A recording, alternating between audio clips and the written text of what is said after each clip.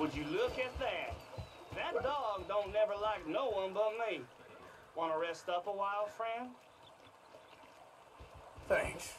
So what brings you to these parts? You okay, boy? Just between towns, looking for work. Well, I'm glad of the company, if I'm honest. The past six months or so, I ain't been around many people. Regular folks, at least. Ain't sure if you heard of a group called the Chelonians?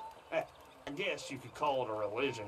Obsessed with turtles, which maybe should have struck me stranger sooner. Oh, yeah? I know. You wouldn't believe it. Folk always say I'm too trusting. I mean, I don't know you from Adam, and here you are sitting at my fire.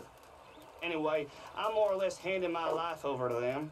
I met a very persuasive feller in Saint Denis. Anders, his name was. And he caught me at a bad time. Uh-huh. Hell of a thing, right?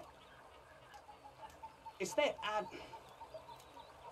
I've been given over to some poor living, real poor living, kind of behavior the devil himself would be ashamed of.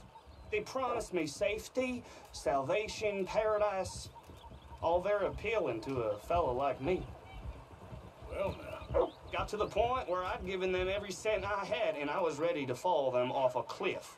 I just got out in time. Maybe it was the turtles, or maybe it was just I didn't have the spine to go through with it. All seems ridiculous now looking back. The things we'll do for answers, huh? Anyway, sorry to ramble on. I should get back to it.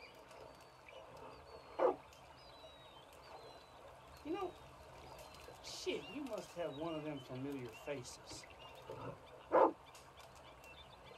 Just have one of those faces. This ain't good.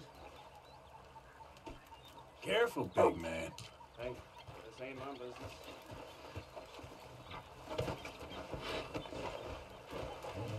Bye.